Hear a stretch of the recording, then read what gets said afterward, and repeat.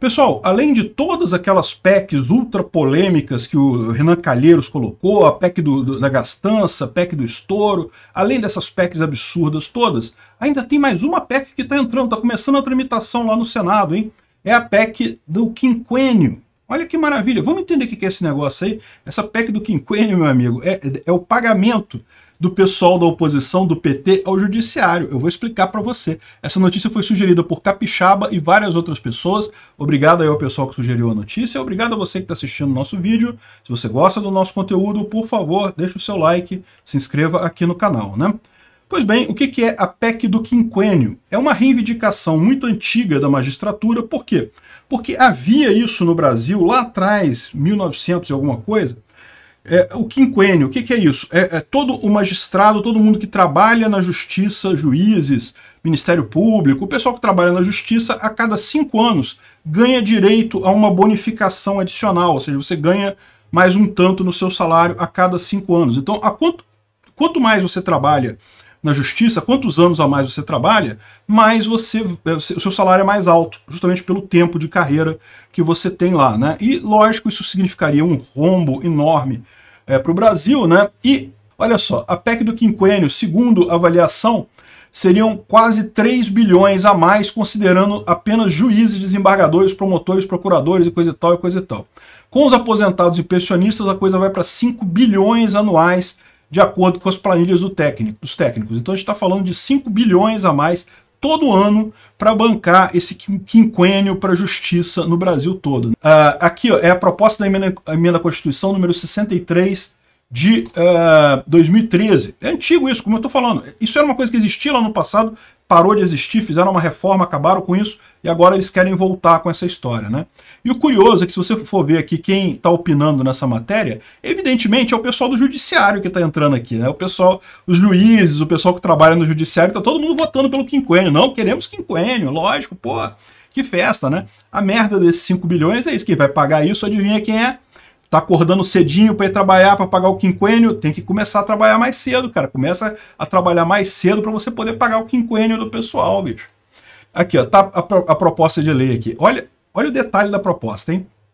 Muda a Constituição Federal, aqui no artigo 39, os integrantes do Ministério Público, da Magistratura da União, dos Estados e do Distrito Federal fazem jus à parcela mensal indenizatória de valorização por tempo de exercício no Ministério Público e na magistratura, calculada na razão de 5% do subsídio ao respectivo cargo a cada quinquênio de efetivo exercício até o um máximo de 7. Então, o que estão dizendo, a cada 5 anos que você trabalha na magistratura, você ganha 5% de aumento e uh, até 35%, né, que seria o limite disso daí, né?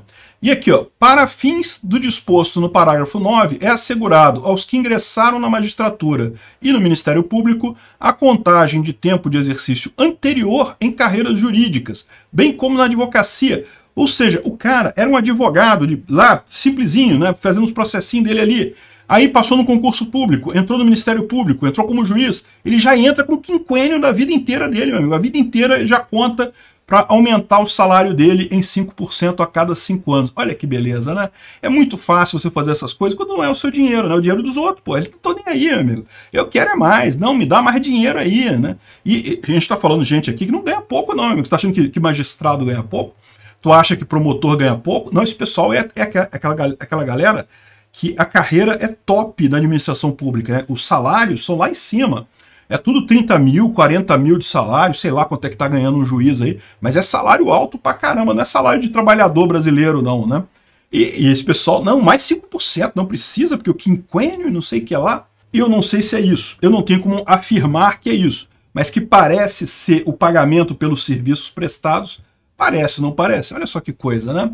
O serviço foi prestado, o pagamento está sendo feito, né?